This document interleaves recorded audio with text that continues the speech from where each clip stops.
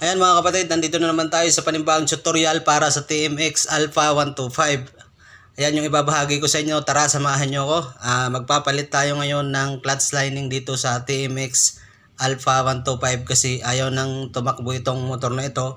Pero bago ang lahat, intro muna tayo.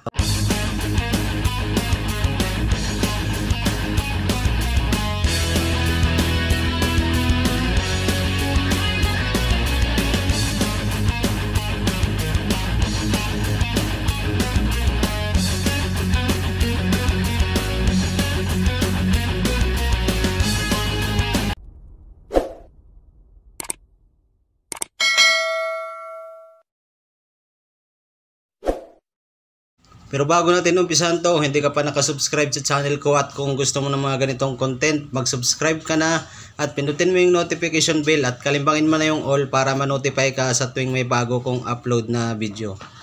Ang una natin gagawin dito is tatanggalin natin yung muffler. Ayan, ah, kailangan natin tanggalin yung muffler at yung uh, potres natin para mabaklas natin yung crankcase cover natin. At para mabaklas din natin yung crankcase cover natin is kailangan natin tanggalin tong mga tornilyo dito sa crankcase. Ayan, nakakaikot dito para matanggal din natin yung crankcase cover natin. Ayan, pag natanggal nyo na yan, ah, matatanggal na yung crankcase cover natin. Ayan, meron pa tayong isang tornilyo tatanggalin. Ah, ganun lang siya kasimple. Tanggalin nyo lang yung tambutso at, at potres kasi pag hindi yung tinanggal yun is hindi matatanggal yung crankcase cover natin. At syempre yung tornilyo yung crankcase cover natin. Ayan, tanggal na. Uh, ito naman is iaangat nyo lang tong uh, cover na to. Ayan, uh, okay na siya. Makikita nyo na lo yung loob ng makina natin. Ayan, ganito yan. Ayan, ito na yung nasa loob ng crankcase natin. Siguro, familiar na rin kayo sa mga ganito. Ayan, ako makikita nyo sunog na sunog yung clutch natin at na-overuse.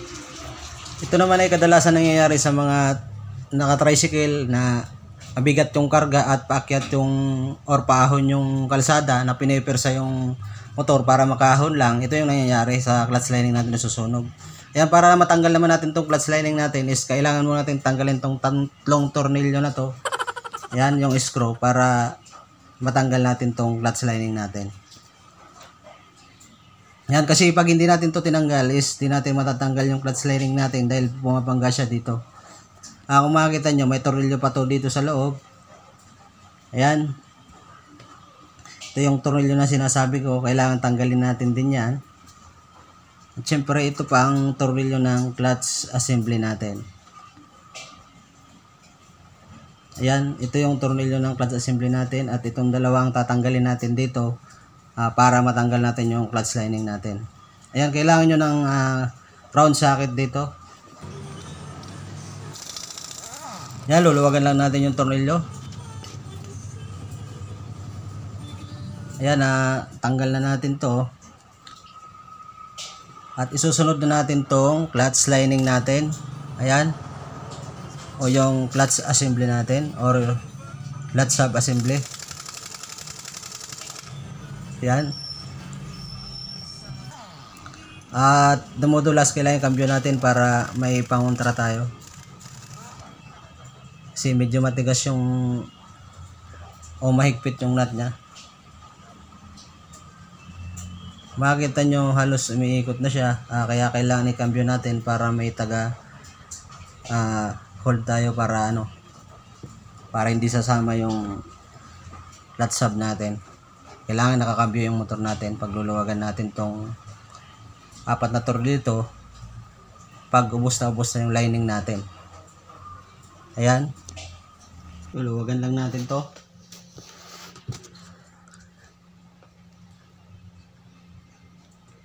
Ayan. Ah, madali lang naman na magpalit ng clutch lining ng TMX Alpha 125 kaya lang kailangan nyo pantanggalin yung putres at saka yung tambutso natin para mapalitan natin yung ano natin, yung clutch lining.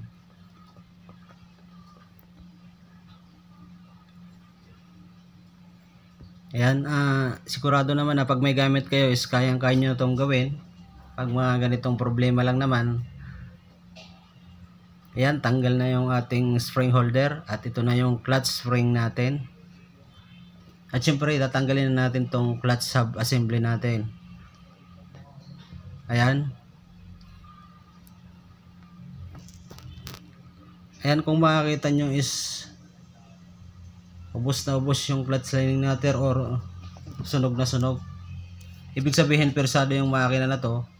Kaya, sinira niya ng ganito yung kanyang clutch lining. Ayan.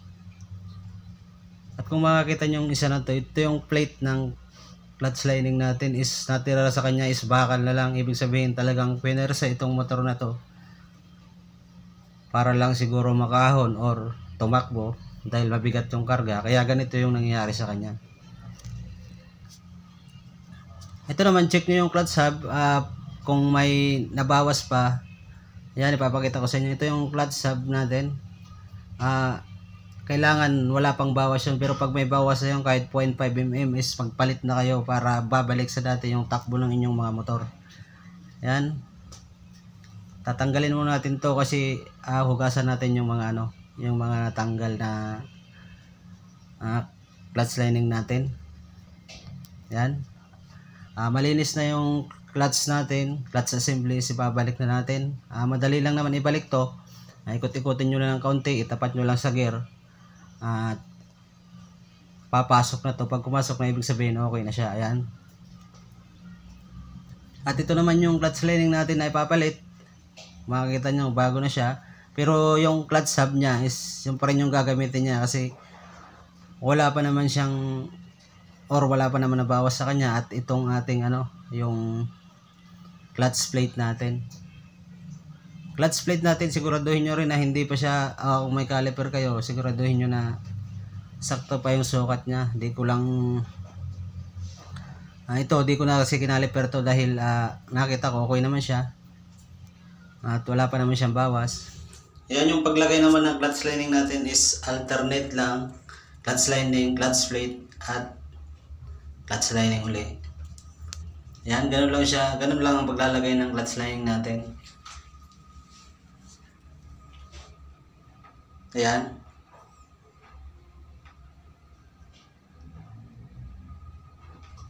That clutch lining ulit. Yan, pag okay na, ilalagay natin tong uh, clutch sleeve. Yan, siguraduhin nyo naman na yung groove is tumatapat sa, ano, sa clutch hub natin, dito sa clutch sleeve natin. Ayan, at ilalagay natin na tong clutch spring pero hindi muna natin siya masyadong ihigpitan kasi isisit pa natin yung clutch lining natin dito sa clutch housing natin. Ayan. Ilalagay lang natin muna yung siguro kahit mga dalawang tornilyo lang muna. O pwede rin namang apat na. Uh, basta wag nyo lang muna hihigpitan para yung lining natin is hindi pa siya matigas ikutin para madali, madali siyang itama doon sa groove ng clutch housing natin. Yan, ah, dalawa muna ilalagay natin para mabilis siyang may pasok dito sa ano natin o masip dito sa clutch housing natin. Ayan. Ganito lang siya kasi makikita nyo, makikita nyo yung clutch hub natin is may uh, groove para pumasok sa spline ng shafting natin. Kailangan natin ikot-ikutin uh, para hindi babangga yung clutch lining natin is kailangan din nating uh, hindi mo nahigpitan yung ano natin yung sa may clutch spring natin para naiikot natin yung clutch lining yan ah ito naman siguraduhin nyo yung mga spring nyo yung clutch spring nyo is ah nakaayos ng lapat para maganda rin yung bigay ng clutch lining natin kasi pag tagilid naman ah pangit naman yung bigay ng spring natin kasi nakatagilid. Yan, higpitan lang natin itong apat na tornilyo na to.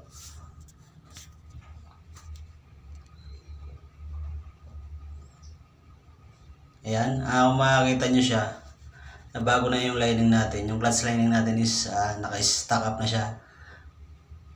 At ilalagay na natin tong washer natin at tornilyo ng clutch hub assembly natin. Ayan, ganun lang siya kadali.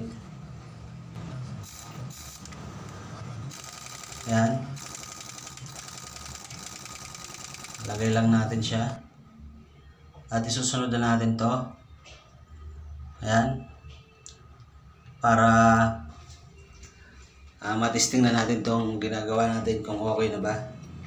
Ayan, syempre huwag nyo rin kalimutan yung tornilyo, tornilyo nito bago nyo takpan. Ayan, ikpitan lang natin to. Ayan.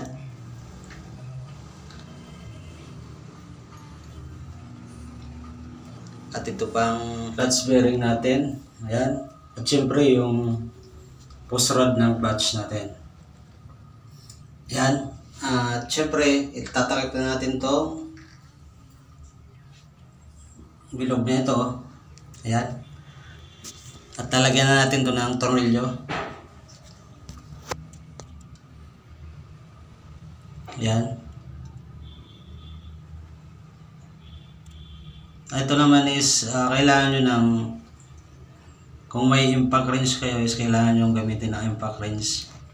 Eh, sa akin kasi puro pneumatic tools, uh, binabala ko lang siya. Ah, okay na. Kasi medyo matigas tanggalin tong tornilyo na to. Uh, although maliit siya pero uh, medyo matigas siyang tanggalin. At huwag nyo naman sobrahan sa pukpok, baka naman mabasag tong bilog na ito. Yan lang yung may comment ko dyan. Ayan, pero tapos na tayo. Ayan, uh, kung makikita nyo po na, sasalpak na natin tong cover natin. Ayan, ang pagsalpak naman ng cover natin is yan, dahan-dahan lang. Pag ay pumasok, gagawa, gagalawin nyo lang yung arm ng ano natin, ng shafting or yung shifting arm natin para pumasok agad. Yan. Ay, lalagyan na natin tong tornilyo nito sa clutch cover natin. Dito naman sa clutch cover natin, kung buo naman yung gasket nyo, is huwag nyo na munang palitan para uh, hindi naman kasi yung tatagas kung first time yung na binaklas yung ano natin, yung clutch cover natin, hindi naman siya agad tatagas. Basta buo lang siya. Pero pag may photo, la, pagpalit na kayo ng clutch gasket para hindi na paulit-ulit yung trabaho. Yan, higpitan lang natin itong mga tornilyo ng crankcase cover natin or clutch cover natin. Ang paghigpit naman nito is kailangan uh, kabilaan. Pag nahigpitan nyo na kabilaan, na video nyo yung sunod-sunod din. Yan, uh, ilalagay na natin tong clutch cable natin.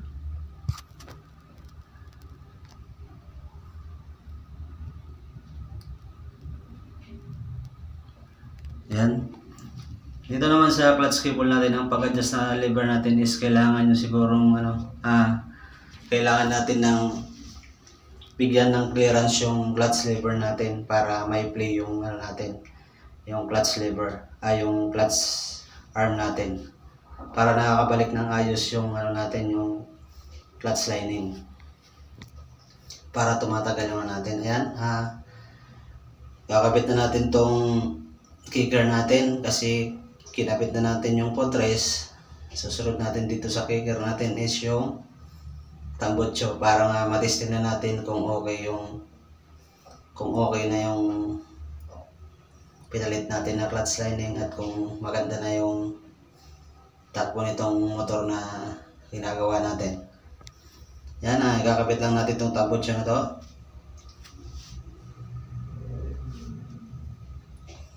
Yan, kung gusto niyo mapanood pa yung ibang video ko, uh, bistahin nyo lang yung aking channel kasi mayroon pa akong ibang tutorial doon na baka magustuhan nyo o mayroon naman siguro hindi nyo magugustuhan. Pero bisitahin nyo na lang baka may magustuhan kayo doon ayan ah uh, lalagyan na natin ng langis.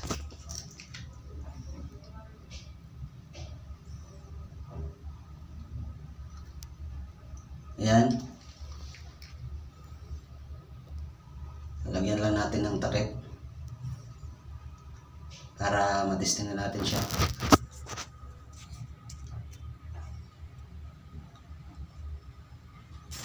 Yan. Napupustart na lang natin siya kasi nagpupustart naman to. Yan umaandar na siya makakita nyo. Yan titignan natin kung okay na. Yan, okay na siya. Yan, maraming maraming salamat sa panonood.